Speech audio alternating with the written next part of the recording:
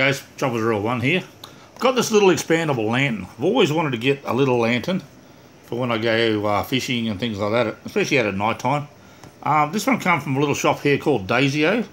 It was six bucks and fifty cents, and um, this is what it looks like. So it's just the batteries go in here. Double A batteries go in the bottom. You screw it up.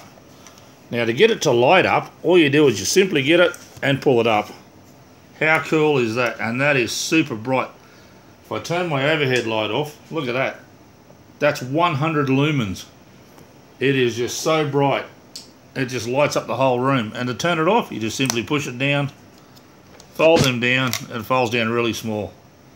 So that's it, guys. I'm quite happy with that. That looks really cool. My little mate here has gone to sleep. She just doesn't care. But anyway.